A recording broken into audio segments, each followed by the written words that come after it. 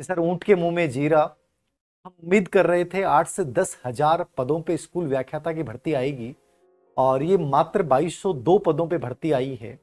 क्या 2202 पदों के अकॉर्डिंग क्या प्रिपरेशन करें, कैसे करें? एक अजीब सा डर लग रहा है, क्या होगा, कैसे होगा?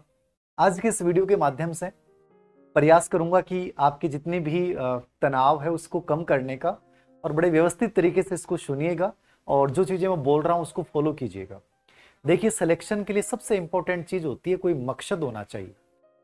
2202 पदों का विज्ञापन आना आपके सामने एक मकसद है। यद्यपि मैं बहुत लंबे टाइम से कह रहा हूँ कि वैकेंसियाँ सब आनी है, यद्यपि स्कूल व्याख्याता की अभी डीपीसी हुई नहीं है।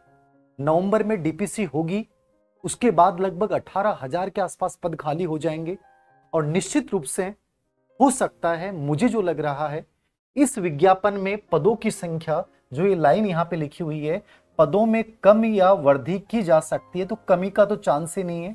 ग्रोथ यानी मुझे लग रहा है कि अभी उपचुनाव की वजह से, इन्होंने जल्दी से, जैसे कल मैंने इन्फॉर्मेशन डाली थी भूपेन्द्र जी की, कि 2200 पदों की आरपीएससी को अभ्यर्थना भेजी गई है तो एक कहीं ना कहीं उपचुनाव वाला हो सकता है, और ये 2200 पद वो पद हैं, जो ऑलरेडी पहले से इनकी वित्त विभाग से स्वीकृति मिल चुकी थी तो इन्होंने जारी कर दिया। अब ये कर सकते हैं मे बी कि इसमें पदों की वृद्धि की जा सकती है, या हो सकता है कि एक दो तीन महीने बाद नया विज्ञापन आ जाए। स्कूल व्याख्याता के पद बहुत लंबे समय तक खाली नहीं रह सकते, क्योंकि मैंने पहले भी बोला है, स्कूल एजुकेशन में सबसे इंपॉर्टेंट पद है। तो आरपीएस स्कूल लेक्चरर है। आठ से दस हज़ार पद पे भर्ती ज़रूर आनी है। अब वो इसमें जोड़ते हैं कि नहीं आनी है, वो राम जाने।